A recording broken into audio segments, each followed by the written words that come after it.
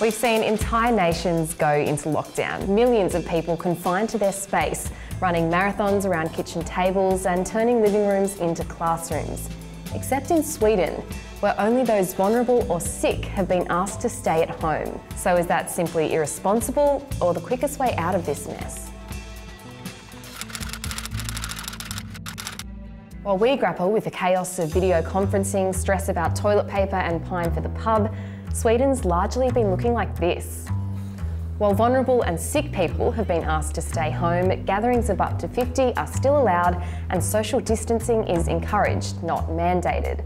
So why is Sweden being so lax? It might have something to do with herd immunity.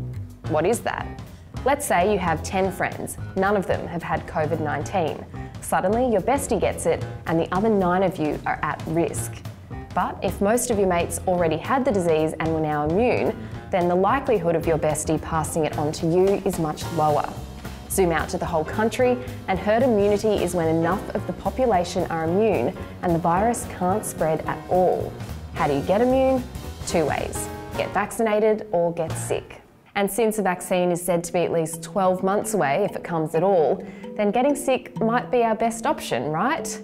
Well, not so fast. While herd immunity sounds great in theory, in practice it could be a minefield. Why? Three things. Outbreak control, death rates and data. First, outbreak control. Allowing an unknown virus to spread surrenders any control you have over it. And with a virus that naturally doubles its victims every three days, things can get out of hand very quickly. And that means overwhelmed health services and more death. Unlike a vaccination, getting a virus to get immunity can be fatal. In Australia, to achieve herd immunity, the best estimates are that 60% of our population would have to be infected with COVID-19. That's 15 million people. And if the mortality rate is 1%, that's 150,000 deaths. This is a virus with a reasonably high mortality. This is not a virus we want freely going through society. That's because we just don't know enough about it yet. We need more data.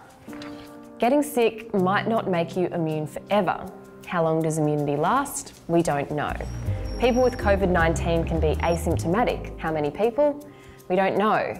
There have been more than 6,000 confirmed cases in Australia. How many others? We don't know. And until we know all that, we just don't know how many people would die if we aimed for herd immunity. If there was a lot of people that happen to have been infected and are naturally immune now, then that actually makes that strategy a bit more attractive. Professor Allen Cheng from Monash Uni says we need to wait for the data. So why isn't Sweden waiting? Well, they do have a few things going for them that are uniquely Swedish. Half the population lives alone anyway, and more than 60% already do some work from home. Even so, way more people are dying in Sweden. In Australia, there have been, so far, two deaths for every 1 million people. In Sweden, it's been 89, which has put a lot of pressure on their Swedish government to abandon the plan and make the lockdown stricter. In Australia, it's the opposite. As we flatten the curve and contain the virus, there are already calls to ease restrictions.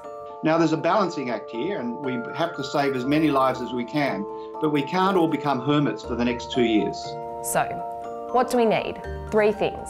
Accurate data that tells us what the death rate actually is, a hospital system that's ready to cope, and hopefully a treatment. I think the analogy is first you need to get onto the life raft and then work out where you go from there. And uh, at the moment, we're just getting onto the life raft. The truth is, natural herd immunity could be a way off that life raft and onto dry land, but trying to engineer it now is premature and risky.